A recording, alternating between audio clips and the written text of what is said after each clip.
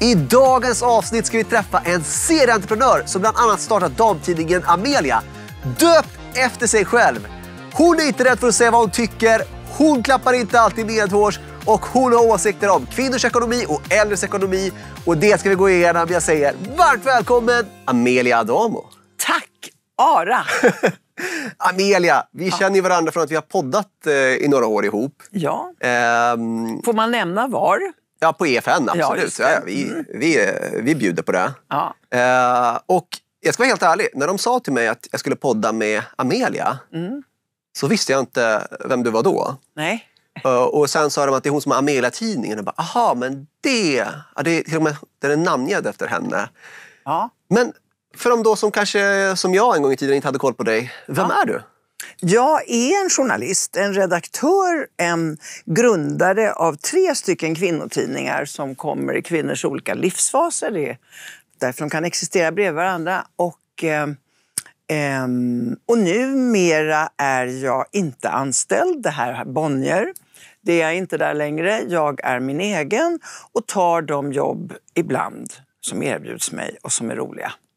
Och kanske är det förklaringen till att jag inte visste vem du var innan att det var just damtidningar. Precis, det var en kvinnovärld. Men innan dess var det också Aftonbladet.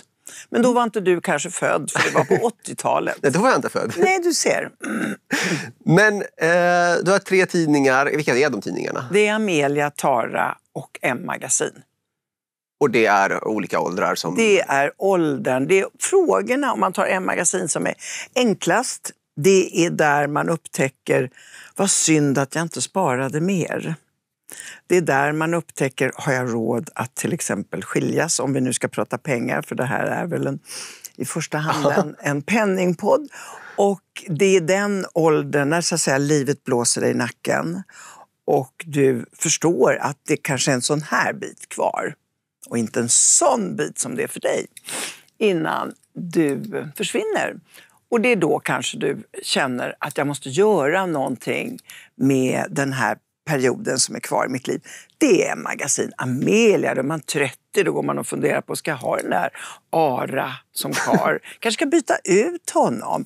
Och har jag verkligen valt rätt jobb? Och de säger att jag ska pensionsspara, men jag är ju bara 30. Det behöver jag väl inte börja med. Jag, jag sparar för att åka till Grekland istället. Så så ligger de till. Och emellan där så kommer då Tara som är 45 år och vad ska hon göra med sitt liv? Så att de är uppbyggda på att jag är duktig på kvinnors frågor i vissa livsfaser. Om jag bara får göra en eh, killgissning om man får göra det här. Ja. Så känns det som att eh, det du beskriver är dina livsfaser som du har varit med om. Det är det ju också. Jag eh, startade på Veckorevyn och det var då det, frågan uppstod. Vart tar Veckorevy-folket vägen efter Veckorevyn när de har vuxit ur studentklänningen? Och då var det lite tomt där på marknaden om man inte var modemänniska och gick in i damernas värld. Där såg jag då min nisch för Amelia, så skapade jag den. Och eh, sen blev jag äldre, men faktum är att när jag gjorde 30-åringens tidning var jag redan 46. Jag kom i fas när jag var 59. Då kom M, magasin. Strax innan jag skulle gå in i 60-årsåldern. När det börjar då med de här eh, grey divorce och allt sånt som sker nu av den enkla anledningen. Ja, men varför skiljer sig 60-åringarna? Kunde de inte ha gjort det innan? Nej, för det är nu de har yrkesarbetat. Det är nu de har ett fuck-off-kapital. Det är nu den här första generationen har möjlighet att göra det som bara överklassen kunde göra förut. Och på tal om liksom, eh, sparande och att göra det. Du har ju varit väldigt, väldigt, väldigt mycket kring kvinnors sparande och så. Får jag, vad ska man säga, om jag summerar det du, du jag pratar om i podden så upplevde jag att det var väldigt mycket tjejer. Sminka är inte så mycket och lägg inte mycket pengar på det. Ja. Lägg pengar på pension. Ja, verkligen. Jag har hållit på sen, sen jag skapade Amelia där jag också la in sidor som hette 9 till 5 som handlade just om ekonomi och eh, sparande, eh, att vara, växa på jobbet, en massa saker med avtal och sånt där så höll jag på där och märkte att jag talade ändå på något sätt för döva öron, inte för alla. Men det var så svårt att banka in i en 30-årings huvud. Det kommer ett liv efter 50. Och du kan inte förlita dig på din partner. Och nu sitter jag här och upptäcker den här trenden, eller jag upptäcker inte alls den här trenden, jag har hört talas om den här trenden om tjejer som vill vara soft girls och lita till sin partner. Och då är det ju fullständigt vansinnigt. Vi som har plogat vägen för att man ska känna att det är viktigt med ett ekonomiskt oberoende ska få döttrar som ska skaffa sig någon aktiemäklare som man vet tjänar lite mer pengar kanske än en ingenjör och luta sig mot den personen. Alltså, då blir man ju rasande. Men eh, är det för att du är nykter nog att veta att det där kommer till slut inte Ja. hålla? Ja, eh, det vet jag inte. De kanske blir ett lyckligt par i resten av sitt liv. Men bara tanken att jag inte är ekonomiskt fri. Det är den som stör mig. Du måste vara fri och oberoende för att kunna fatta dina eh, beslut även i, i ett äktenskap. Kan man dock inte säga att du har varit en del av dem som prackat på smink och allt det där? Jo, det kan man också säga. Eh, därför att det schizofrena i en sån här tidning, om den ska vara kommersiell, är ju att du på vänstersidan har sånt som förbättrar ditt utseende och på högersidan har du sparfonder. För så är livet. Och då kan man säga, ja men kunde du inte ha tagit bort sprinket? Nej, då hade jag inte haft någon grund att stå på. För du vet väl som sysslar med pengar vad en annonsör är? Och vilka annonsörer tror du man har i damtidningar? Ja, det är skönhetsbranschen. Det är mycket från skönhetsbranschen. Jag ska säga att kanske rent av beroende. Och då måste de få några sidor också i tidningen, redaktionella sidor. Då får man, precis som man håller på med barn, ja men om du äter lite müsli så blir det kanske lördagsgodis. Samma sak är i en tidning. Müslit bara, går inte. Men med lite lördagsgodis går müslit ner. Och då har ju... Jag har alltid undrat så här, vad har, eh, vad har du själv haft för liksom, relation till sparande? Har du jag bara säga en sak Ja. om, om det här med skönhet och sånt. Ja. Det har ju accelererat. På min tid var det ju betydligt billig- billigare och enklare. Det var ju ingen som gick och gjorde hårförlängning för 3500 eller vad det kan kosta. Eller fransar för 950 kronor. Eller vad unga människor idag gör och som de tycker är livsnödvändigt. Eyebrow lift, lash, whatever. Alltså detta är nya stora kostnader och när jag läste om de här brudarna som inte kan betala på Klarna Ja. så blir jag ju förstås orolig och så tänker jag, nej men de måste ju liksom bestämma sig för att de där fula uppblåsta läpparna, lägg ner, det är för dyrt. De ska sätta prislapp på bunnen. Eh, En sak dock Amelia, som jag... Så här, det känns som om jag hör någon tjej berätta om att de har så här, hur ska jag få ihop mitt månadssparande och så. Och sen så säger de också i någon annan dag att de så här, går och fixar naglarna för Ja. så här många kronor varannan vecka Ja. eller fixar håret eller så vidare. Jag känner som kille, jag kan inte säga liksom så här.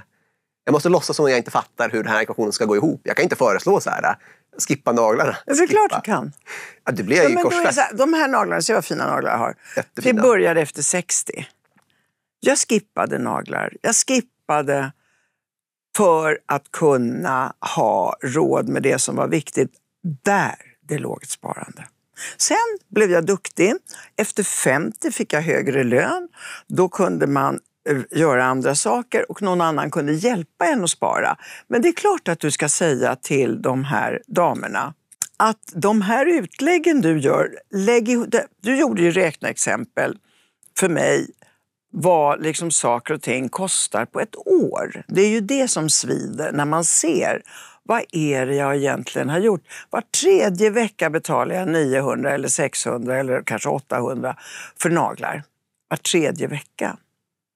Eh, när de räknar ut vad det är för kostnad. Det jag märker nu, det är ju alla de som kommer upp i en viss ålder och inte har tillräcklig pension och som frågar kan jag sätta turbo på min pension när de upptäcker det? Då är de 62. Ja. Och det är klart att de här tjejerna som eh, eh, har eh, räkningar på Klarna de inte kan betala, de har ju förstås inte kunnat lagt ihop plus och minus och vill inte. Så tala om det för dem du.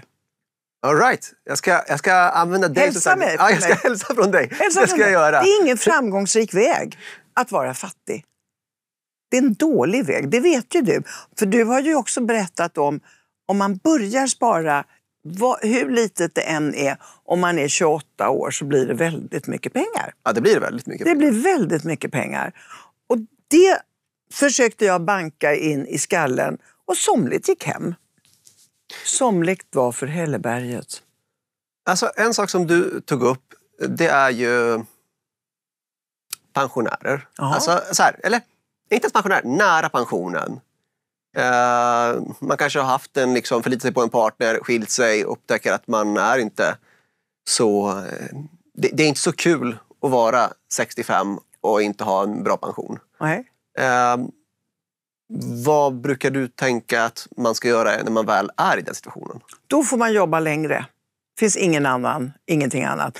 Och om man har ett jobb som man inte får jobba längre. Det finns ju jobb som inte tycker att de vill ha några 68-åringar. Då, sen finns det ju tack och lov andra jobb som bara älskar seniorerna. Och jag pratade med en tjej som, är, eh, som har en pool för vårdpersonal i Umeå. Hon sa det finns inget underbarare än när jag har fått tag i en senior. De kan, de vabbar inte, de är pålitliga. Och eh, det är det bästa, sa. Och är man senior och har yrken som passar då finns det ett bra sätt att öka sin pension på och det är att jobba mera. Du kan också gå in i sådana här veteranpooler. Det finns ju saker du kan göra som pensionär. Jag är 77. Jag jobbar ju på grund av att jag har ett sånt bra yrke som man kan föreläsa eller vara moderator. Alla har ju inte sådana yrken. Men samhället skriker efter all typ av vårdpersonal. Du kan bli en sån här som går hem till en gammal människa som har blivit blind och du läser tidningen för henne. Det kan du få betalt för. Det heter Seniorhjälpen eller vad det nu är. Det finns en uppsjö. Tycker du att många arbetsgivare är dåliga på att eh, uppskatta äldre nyanställningar? Definitivt, fast det har blivit bättre. Förut så ville de ju inte ha folk vid 48 års ålder. Nu tror jag att vi klarar oss till 58. Ehm, jag tror att det har blivit en viss attitydförändring, kanske också för att man förstår att vi är behövda. Ehm, men attitydförändringen är ju det, det viktiga därför att det var ju inte så att vi var usla vid 48. Det som hände var ju den här digitala revolutionen och då blev vi ju helt, eh, vad heter det, outsourcade för vi fattade inte riktigt och det gick inte så fort för oss och vi, vi har kommit i fatt. Inte så att vi kan tävla med eh, de unga människorna, definitivt inte. Men man har ju också haft en anpassning på jobbet där man ser att alla behöver inte vara programmerare och kunna koda och, och vad det nu är för någonting. Jag säger inte att det räcker med att kunna mejla, men man måste ju kunna system förstås, om man nu ska jobba med pengar, Excel-system och allt vad det heter. Det kan vi lära oss. Sen kan vi kanske inte ligga i framkant när det är digitalt. Å andra sidan så är vi ju baktunga av erfarenhet. Vi har gjort misstag. Vi vet att det gick inte, men det kanske går nu med en liten justering. Vi har så mycket erfarenhet som ingen har brytt sig om. Jag tycker nu att det har ändrats lite grann. Superintressant intervju, men först, jag vill berätta om Nordnet One, det kompletta sparandet som är supersmidigt att komma igång med och ger en bra riskspridning. Så här funkar det. Nordnet One består av tre olika fonder man kan välja mellan. Den ena heter Nordnet One Försiktig, Nordnet One Balanserad och sen har vi Nordnet One Offensiv. Ju mer kortsiktig du är, desto mer försiktig behöver du vara. Men desto mer långsiktig du är, desto mer risk tål du. Desto mer offensiv kan du vara. Och fördelen med att vara offensiv är att man kan förvänta sig en högre förväntad avkastning. Och du väljer precis det som passar just dig och dina behov. Men när du valt en Nordnet One-fond, då behöver du inte göra något mer för att de här ombalanserar sig automatiskt, bra riskspridning, fullt av indexfonder som ger en bra geografisk spridning utöver branscher och annat. Och avgiften är dessutom låga 0,34 procent i alla dessa tre alternativ. Du hittar dem i appen eller på norden.se. Kom ihåg att historisk avkastning är ingen garanti för framtida avkastning. All investering innebär risk, så även denna. Ta alltid del av informationsbroschyren och fondfaktabladet innan du investerar. Och nu tillbaks till intervjun. Och jag vet ju att när det kommer till din familj så är du... Eh, Jag mutar du snålar dem. inte. Nej, du jag mut- snålar inte. Ja, du mut, det är liksom, Ja. Är det resa, Ja. då tar du med inte bara liksom ett barn utan Jag tar med barnbarn och alla. Det är Fästmö liksom, också. ja, precis. Det är liksom en karavan. hela, mm. Eh, Så länge pengarna räcker. För att jag tänker ju också så. Vill de vara med mig? Ja, kanske i Afrika. Vill de vara med mig i Trosa? Ja, kanske också, men kanske inte bara hemma på söndagsmiddag. Det är ju också glädje för mig. Hur länge kan jag vara med alla dem? Det är ju en investering. Varför ska jag dö med de pengar jag har över? det gör ju ingen nytta. Det gör ju ingen nytta. Det är väl bättre då att när jag kan göra någonting som jag dessutom blir delaktig i.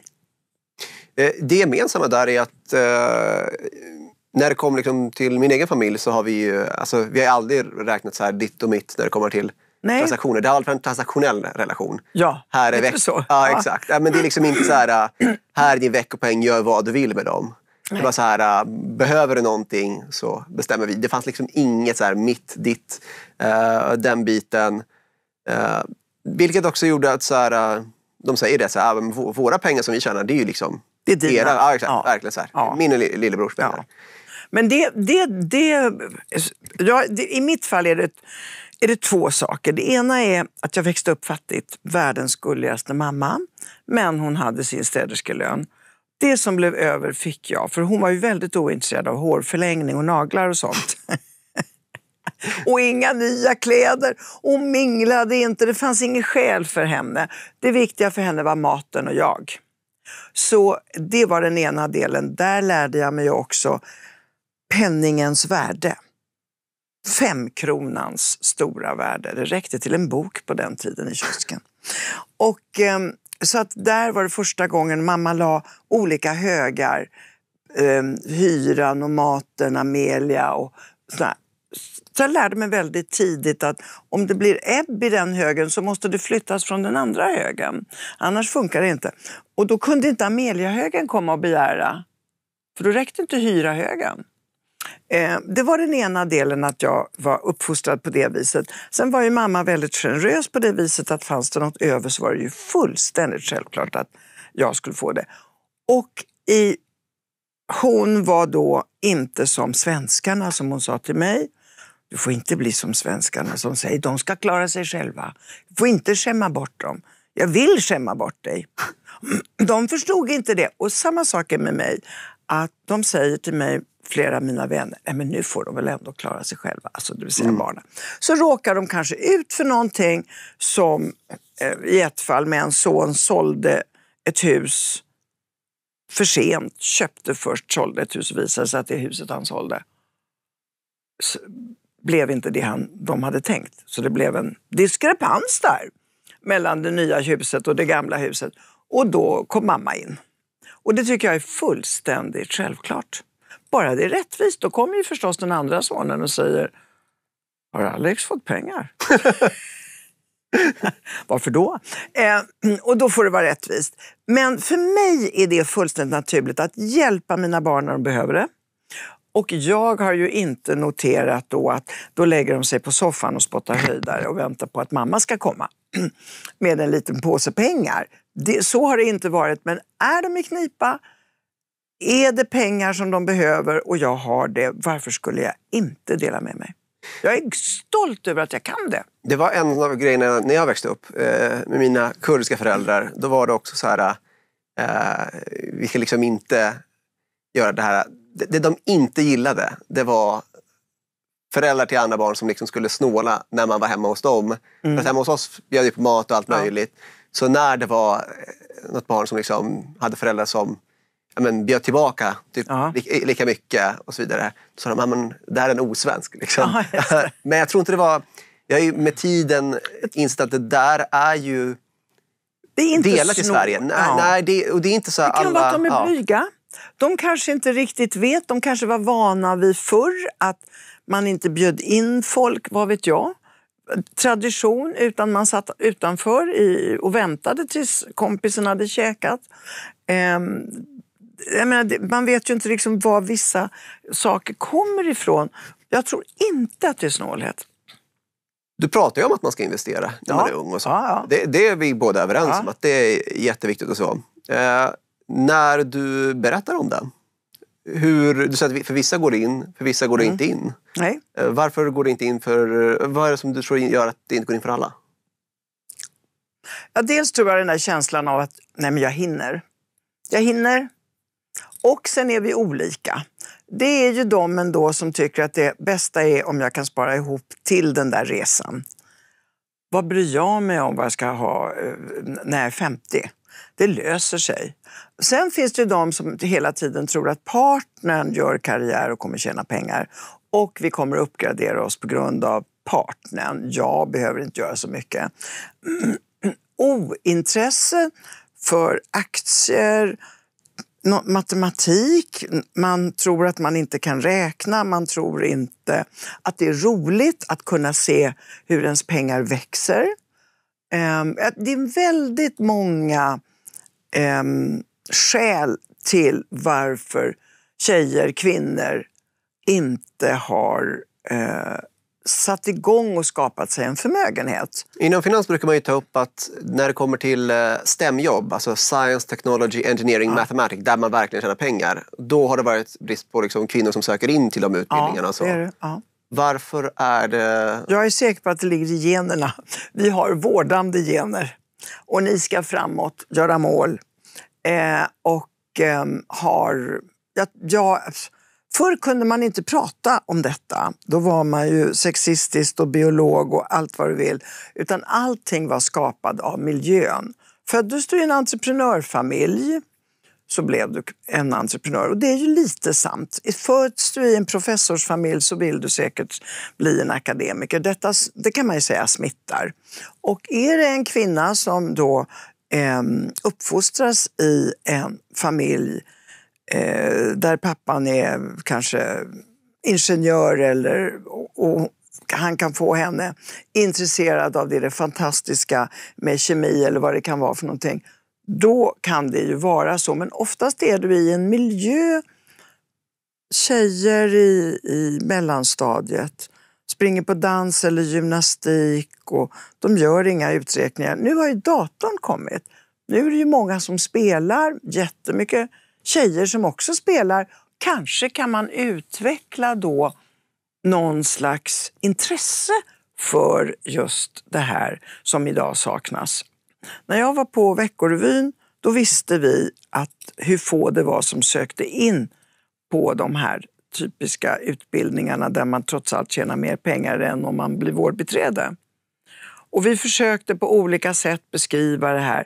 Det var som tjejerna inte riktigt kunde ta in att de kunde bli det här. Att de kunde bli intresserade av att vara en ingenjör. Idag tittar jag ibland hur det ser ut utanför KTH och ser till min stora glädje ganska mycket tjejer.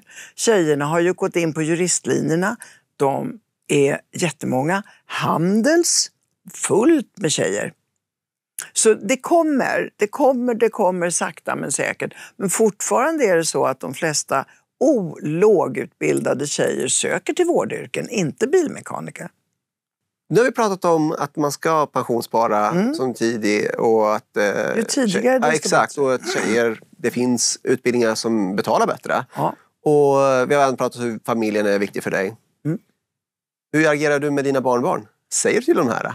Ja, jag säger till och med till barnbarnets fästmö som har gått någon djurlinje att eh, kanske inte världens bästa om du nu ska skaffa dig lite pengar.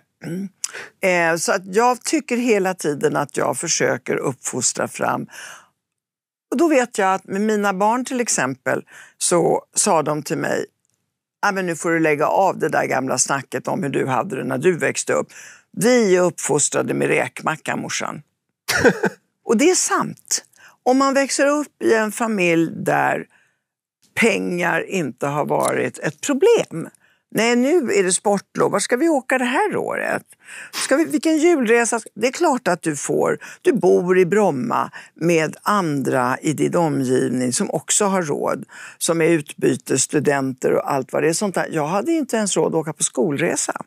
Och då är det klart att de blir ju inte som jag. De får ju ett annat förhållande till pengar. Det vill säga, om det går riktigt illa så kommer säkert morsan. För å ena sidan så pratar du om att du vill skämma bort dina barn och barnbarn. Det, det, det har du tjänat pengar för att kunna göra. Ja. Det vill du göra. Å andra sidan så får du ett svar att mormor, Nej, mamma... Det är, någon, det, är så här, det är så här. Klart att jag vill att de i första hand ska klara sig själva. Sen är ena sonen är typisk kulturarbetare. Det är ju inte så många kronor där då. Eller hur? Nej. Den andra är, det bättre med. Sen kommer då barnbarn och de i kulturarbetarfamiljen där det är eh, mindre eh, pengar, där är barnen mycket, mycket mer medvetna. Där får de lära sig. Där går det liksom lite grann i arv. Vad gör man med en veckopeng? Och hur sparar man? Och man kan titta på sin telefon och se, nej men nu är jag uppe i 2000 kronor. Ehm, den andra familjen har inte alls haft den traditionen. Där finns det mer pengar. Det ser ju jag och då går jag ju in förstås som um, någon slags uppfostrare när det gäller pengar. Hur viktigt det är och att ni måste tänka på framtiden och så, även på de här som är 13 och 15 år. Men sen när jag kommer hem och tittar på 13 år eller 15-åringens sminklåda så håller jag ju på att svimma och så sa jag till henne, du det här är en filial till Kicks du har här hemma. Jag vågar inte tänka på vad det har kostat. Och eh, då har jag ju inte riktigt med det att göra.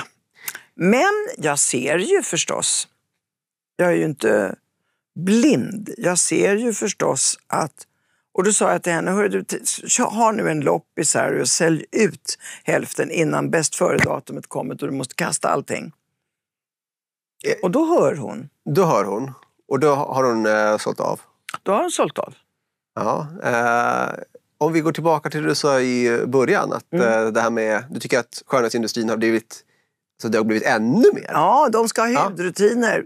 13-åringar ska ha hudrutiner. Så säger jag till dem, du jag är 77, jag har aldrig haft en hudrutin. Jo, men någon hudrutin har du väl ändå haft farmor? Men vad är en hudrutin? Ja, det är ju då ett sätt för, för branschen att se till att de inte har tre grejer utan att de har åtminstone sex grejer innan de kan gå och lägga sig i ansiktet.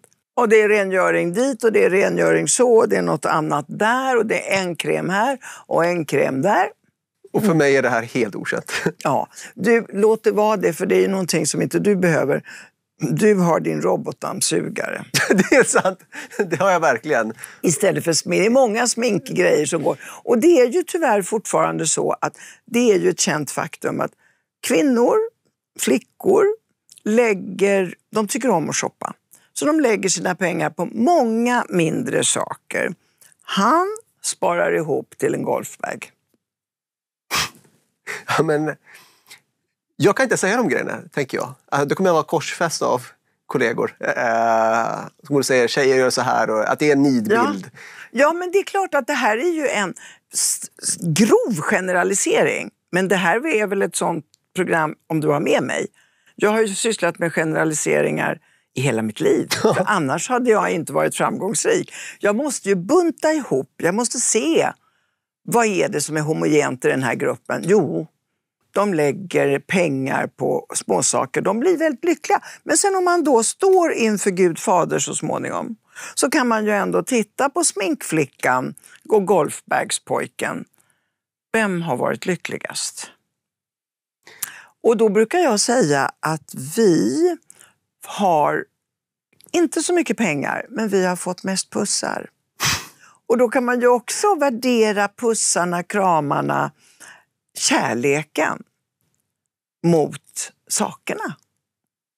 Och då tror jag att där har vi dragit en vinst. Ja, kärleksbanken eh, ska man också ha med i beräkningen. Den ska man ha i beräkningen. Och ehm, ehm, man ska inte liksom sätta, sä- man, man ska förstås sätta pris i huvudet i alla fall. Men det jag menar är att, att ehm, det finns lycka att få. Också för de som inte har sparat så bra. Och om man tar nuläget för dig, vad händer nu? För mig. Ja, du sa ju att du är 77. Ja. Du eh, har blivit änka. Ja. Är det fortfarande rätt praktiska grejer du behöver göra? Eller? Ja. Ja, jag kan säga att jag försöker sälja ett hus som jag har på Dalarö och har upplevt det oerhört smärtsamma i att just nu är det ingen som vill ha det. Detta hus byggt av kärlek och en arkitekt också, ett arkitektritat hus. Jag har lagt ner pengar för jag trodde det skulle bli min sparbössa och där kan jag säga, Ara, har jag gjort ett jättefel som jag inte visste. Och jag tog inga lån, jag byggde det här huset. Här skulle Lucio och jag gå och fläta våra fingrar när vi blev ännu äldre. Eh, inte 75, men efter sådär 80. Och vad händer? Han dör och huset står där osålt fortfarande. Mina drömmar har då pulveriserats och så måste jag så att säga bli av med huset för jag vill inte ha det sen av ekonomiska skäl. Vet du vad som hände då när jag hade sparat och tyckt att det här huset är Dalarö en bra adress.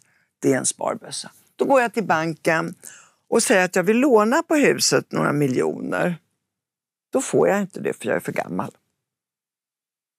Och jag har alltså inte ens tänkt på att det spelade någon roll. Jag trodde husets värde var, räckte.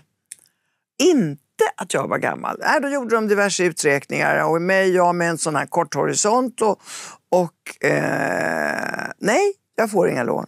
Va, sa jag, vad ska jag göra nu? Sälj huset. Okej, och så tänkte jag då att nu går jag ut med det här fina huset. Det kommer stå en kö utanför. Jag kan säga att det var noll kö. Helt fel period. Så nu får jag hoppas att det kommer en bra period för mig. Så detta har ju då eh, plågat mig ihop med den stora plågan som är förstås att Lucio inte lever. Så eh, det jag gör nu det är att jag på olika sätt distraherar mig genom arbete. Det är det enda jag kan. Och vänner och familj umgås förstås. Eh, och jag tar de jobb jag får, om det är moderator eller föreläsningar för andra pensionärer. Det är ganska poppis. Det finns många PRO och SPF-avdelningar att besöka. Eh, och det gör jag så länge jag då tycker att det är roligt. Och då får jag ju den här lilla guldkanten som vi pratade om. Vad ska man göra om pensionen inte räcker? Ja, vad ska jag göra nu då om jag inte får det där huset sålt? Jag måste öka lite på mina pengar. Då jobbar jag.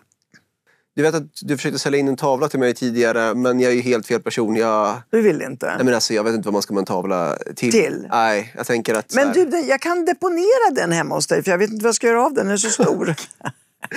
alltså, jag, Jag har försökt sälja är den, det gick inget bra. Ja, eh, jag vet ju inte ens hur... Eh, för mig är liksom en tavla så här, det, är- det är fint. Men sen då? Vad händer Vadå sen? efter, efter Sh- två då- timmar? alltså, men- Kolla på en tavla i två timmar. Ara, Vad gör man ara, vardagsskönhet. Det är underskattat. Men tröttnar du inte på den? Nej, ett, man, blir, man ser olika saker. Inte alls, det blir en del av ett hem. Och vardagsskönhet, det var ju någonting som arbetarklassen fick bara för 30-40 år sedan. Att kunna investera i någonting som är fint hemma och inte bara praktiskt. Vi, får, vi får se. Jag, eh, jag tror att eh, mitt förhållningssätt är det mest ekonomiska på kort sikt. Sen kanske, kanske om man verkligen, verkligen gillar tavlor så finns det en ekonomisk aspekt i att faktiskt köpa och sälja. Jag kan säga till dig att när jag då kände att jag behövde lite pengar så tänkte jag nu gör jag mig av med mina tavlor. Och då hade jag hemma, jag ska inte säga vilken firma det var, för att få en uppskattning av mina två hemstavlor. Och då så sa den här killen en förlösande mening. Och jag förstod precis vad han menade. Och då sa han, det är inte ofta vi kommer hem till någon som har köpt med hjärtat. Då förstod jag, här var inga pengar. det var exakt så. Folk som köper med hjärtat köper något de tycker om. De håller inte på och tänker, kan jag sälja det här? Ja, det, jag tänker så mycket så, så att när jag köpte min lägenhet, jag behöver ingen balkong. Jag går aldrig till min balkong. Jag tänkte det här är bra för värdet i framtiden. Ja, då har Så- du en balkong. Jag har en balkong, helt mm. oanvänd. Alltså, jag använt den kanske Ja.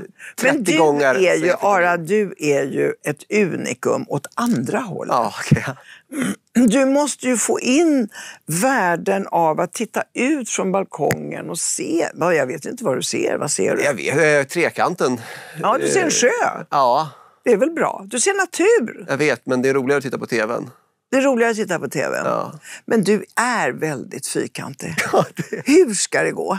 Och med de orden, kan vi, eh, med de orden Amelia, så får vi avsluta dagens podd. Eh, Stort tack för att du var här. Och, Men du, å andra sidan skulle du ju bli miljonär, mångmiljonär före 30. Hur gick det med det då? Eh, jag är inte 30 än. Eh, och mångmiljonär eh, förbi första miljonen är jag absolut. Ja. Så nu är frågan om jag hinner till andra miljonen innan årsskiftet. Inte Ja, helt du har ett omöjligt. par månader på dig. Ja, Och då fyller du? eh, 30. Då fyller Alltså, du jag 30. fyller nästa år, i augusti. Eh, Så jag har liksom... Du har eh, lite månader ja. på dig. Det tror jag att du kommer att klara. Annars får du sälja robotdammsugaren. Fylla på lite. Ja, absolut. Jag kan säga att det är samma robotdammsugare som när vi träffades en gång i tiden. Det, den håller fortfarande på. Den håller. Tack. Stort tack. Jag måste runda av. Ja. Dagens Sparpodden är över. Vi är tillbaka nästa vecka. Det får ni inte missa. På återseende. Tack Amelia. Tack själv. Vad roligt. Visst var det det?